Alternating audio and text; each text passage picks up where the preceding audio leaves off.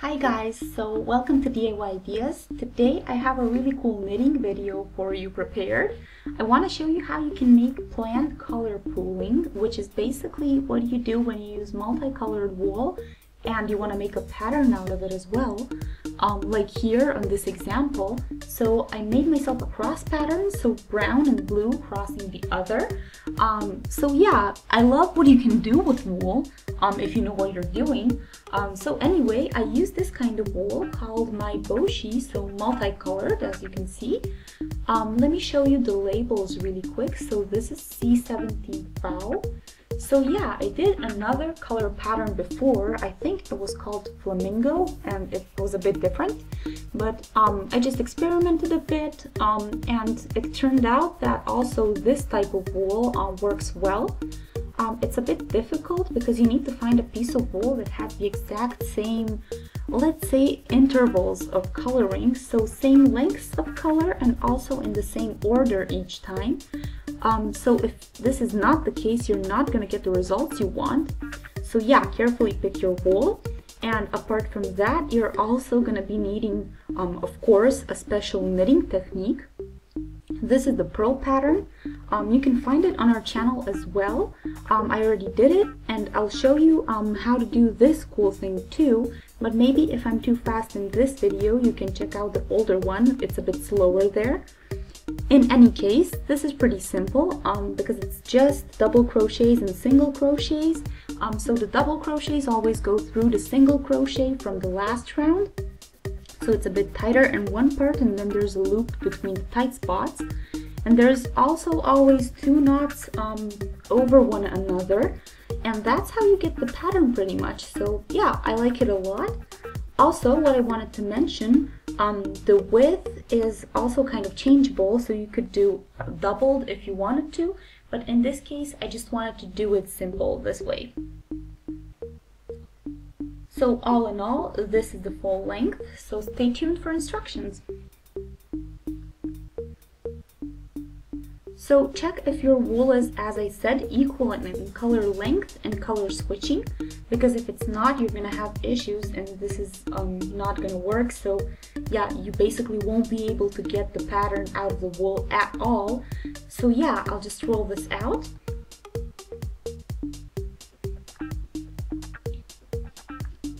So here we have this mustard color.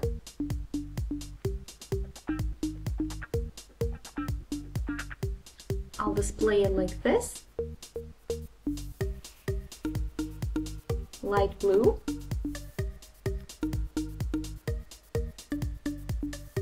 Brown in between the blue and then again.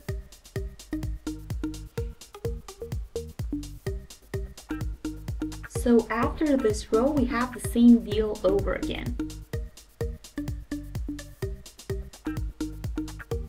As you can see, this is matching.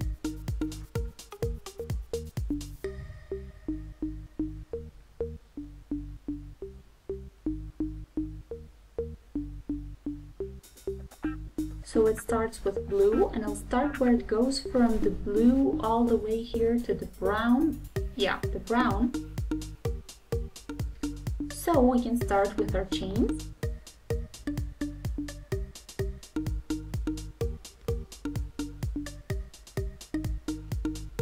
So now I'll begin with a whole row of chains, so all the way to the point where light blue goes again to brown.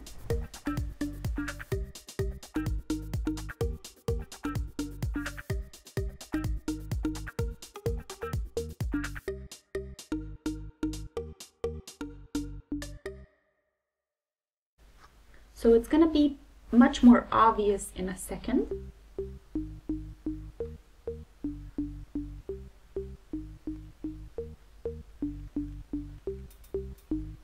So here we are now, it goes from brown, light blue, dark blue, mustard and brown again. Dark blue over here think we're back at the beginning now.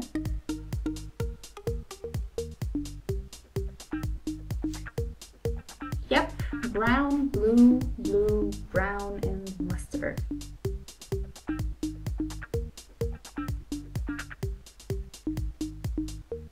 So this is my width and we can begin.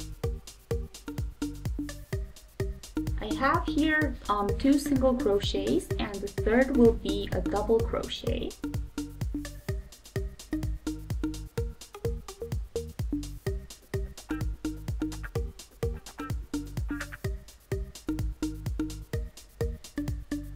So just watch what I do, purl pattern.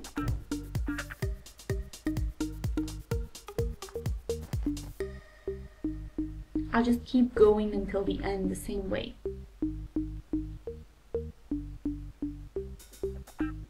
Yeah, also when I say the end, so not up to here, just until I'm done with the color row.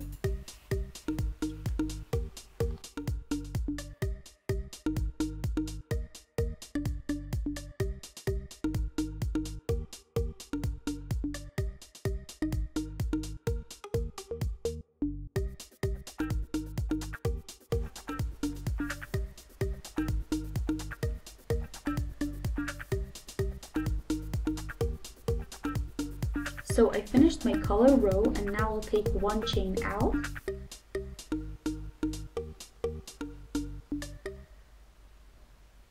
So this one. And then here goes the single crochet. And now back you need to experiment a bit so this really depends on the wool you have so maybe you will need to modify it a bit to make the pattern visible sometimes it works better if you don't get rid of but put an extra knot in there. But all in all it shouldn't be too hard to figure it out. So just go back um, and up and down. I mean actually left and right. So all in all pay attention and don't get discouraged if you don't um, succeed right away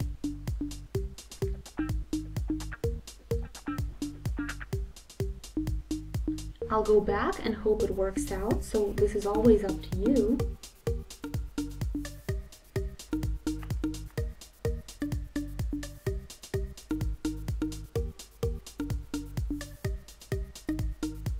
And here always single crochets and double crochet.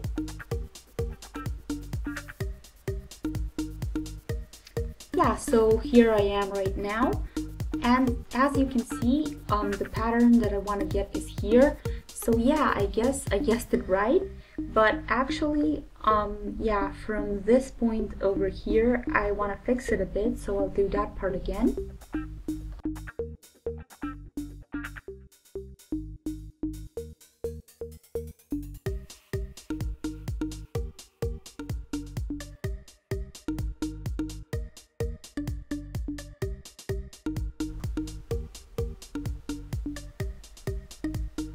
So now it's much better, I'm really satisfied now. So I'll finish it up a bit and then I'll be back with the results.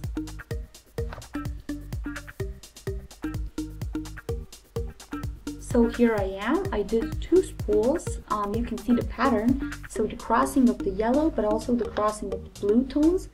Well actually all the colors go in across, so yeah, I like this a lot. Um, I'd love to hear what you guys think. Um, if you maybe want to see a different pattern or if you did this pattern in a different way. Um, yeah, so if you enjoyed the video and the pattern, feel free to shoot us a thumbs up. You can also subscribe to our channel and that way never miss a new video we post. So yeah, thanks for watching DIY Ideas. I hope to see you again on our channel and I wish you a great day. Bye!